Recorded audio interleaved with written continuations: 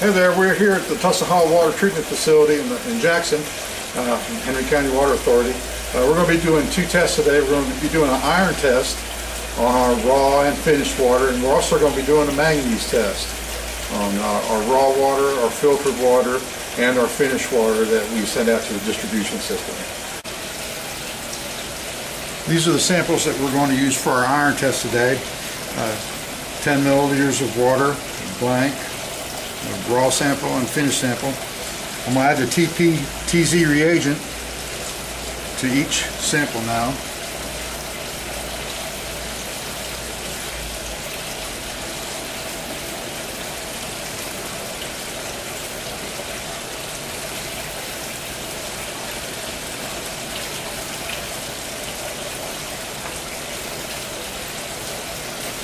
Good shake.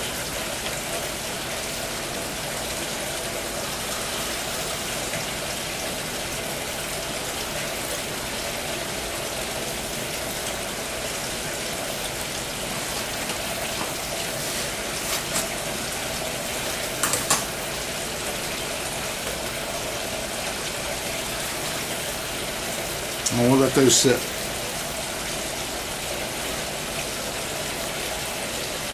The reagents have been added to all three of them. There's our blank, there's our raw sample in the middle, and there's our finished. Now they've sat for about a minute or so with the reagent and they've been shaken and they mix pretty good. Let's go ahead and get started.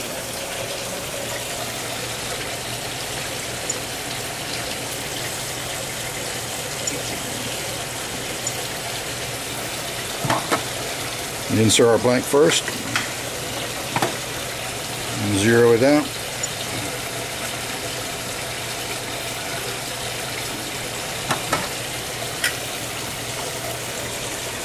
And go ahead and pick up our raw sample. And we're going to read this one. 0.055. Let's this will be recorded as 0.06. And for our finished,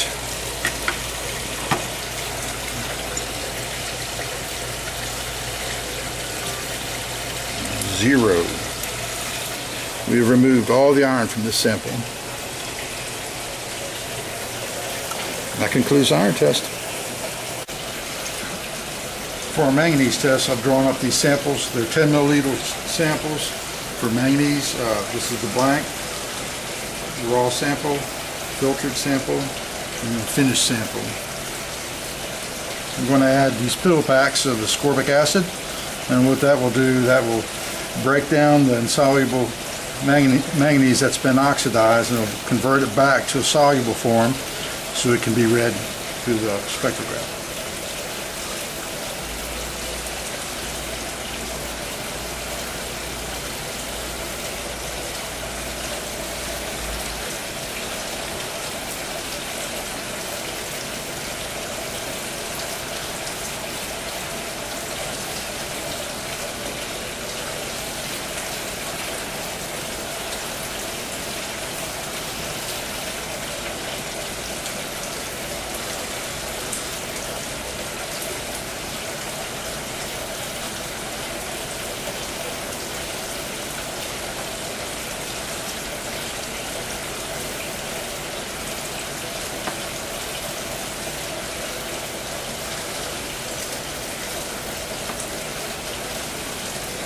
We'll be adding alkaline cyanide next.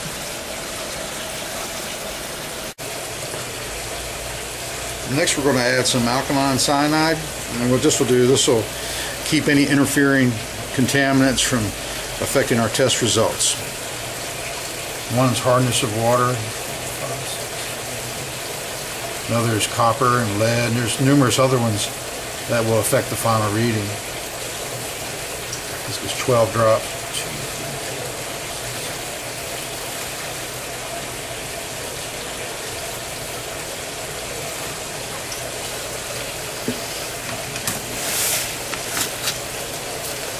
Mix these up.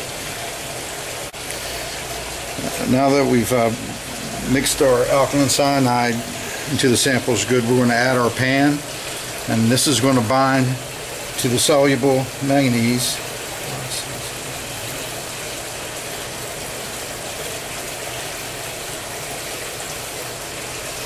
And the order of mixing is important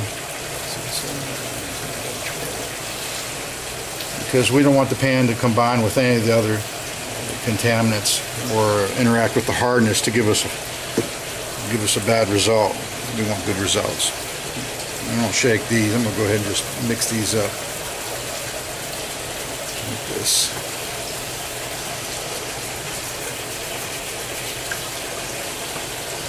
And we're gonna let these sit for three minutes.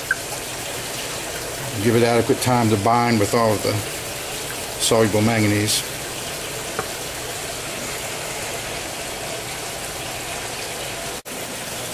All of samples have sat for about three minutes and we're going to go ahead and start the test.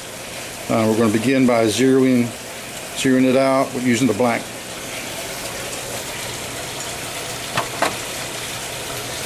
You know the blank has no manganese in it.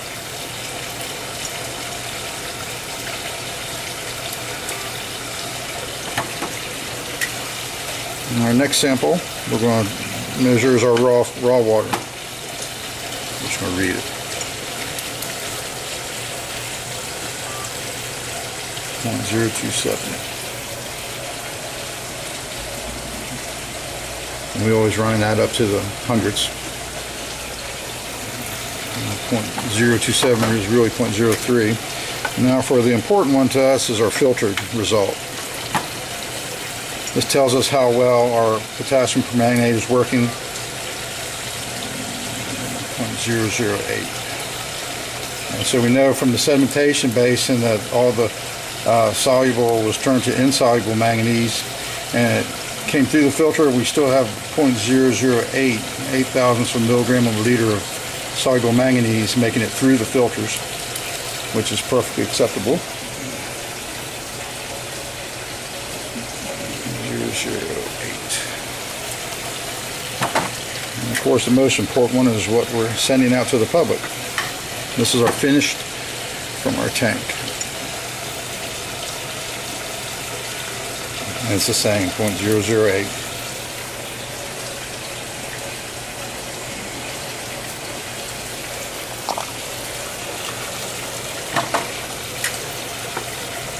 Those are good results considering some of the numbers we've seen in the past when the reservoir turns over. It can get really hard uh, to remove all the manganese. That's a pretty good result right there.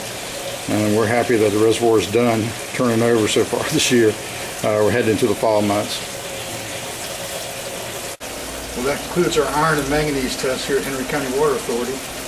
Uh, we removed 100% of our iron uh, from the raw water. We went from a 0.06 milligrams per liter in our raw to zero in our finished water. Uh, for manganese, we achieved a 75% reduction. We went from 0.03 milligrams per liter to 0.008 milligrams per liter. So there's always room for improvement. We'll keep fine-tuning as needed. Uh, better numbers here means better water for our customers, and plus it's better for our distribution system too. Thanks.